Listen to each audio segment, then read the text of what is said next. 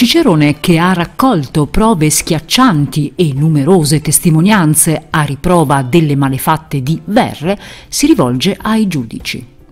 Et vos iudices utrum is testibus non credetis an verre damnabitis? E voi giudici non crederete a questi testimoni oppure condannerete Verre? La domanda di Cicerone è un'interrogativa diretta disgiuntiva. Essa è formata da due membri, il secondo dei quali costituisce un'alternativa al primo. In sostanza, l'interrogativa disgiuntiva è quella interrogativa che esprime un'alternativa tra due termini o possibilità. Nel nostro caso, che i giudici non credano ai testimoni, oppure che condannino verre.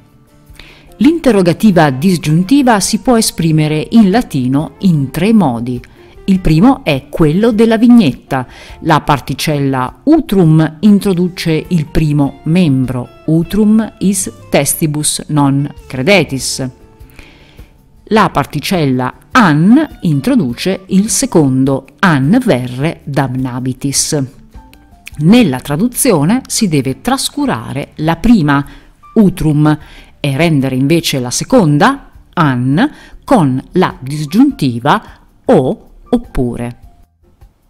Nella seconda modalità, invece di utrum, è la particella enclitica ne che segnala il primo membro della disgiuntiva, come nella vignetta et vos iudices is testibus non credetisne an verrem damnabitis?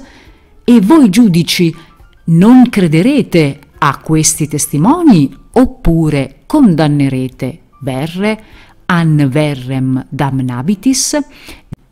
Nella traduzione anche in questo caso si deve trascurare la prima particella ne enclitica e rendere la seconda an con la disgiuntiva o oppure. Nella terza modalità abbiamo solo la particella an che introduce il secondo membro della disgiuntiva, come nella vignetta.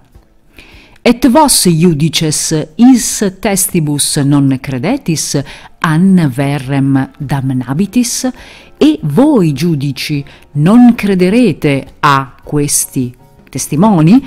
Oppure condannerete verre? An, in questo caso, va reso con la disgiuntiva oppure. Se l'alternativa è costituita dalla semplice negazione del primo membro, questa si esprime in latino con la formula an non, come nell'esempio. Et vos iudices is testibus credetis an non, e voi, o giudici, crederete a questi testimoni oppure no? An non si rende dunque in questo caso in italiano con oppure no.